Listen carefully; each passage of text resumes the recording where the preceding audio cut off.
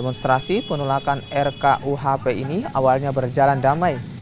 Masa dari berbagai organisasi menggelar unjuk rasa dengan membakar ban bekas di tengah jalan.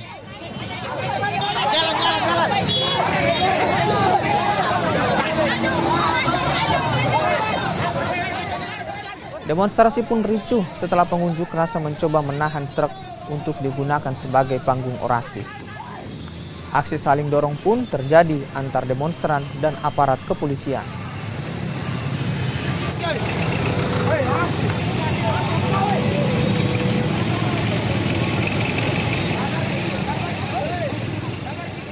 Beruntung, kericuhan tak berlangsung lama. Para demonstran pun kembali melanjutkan aksi mereka.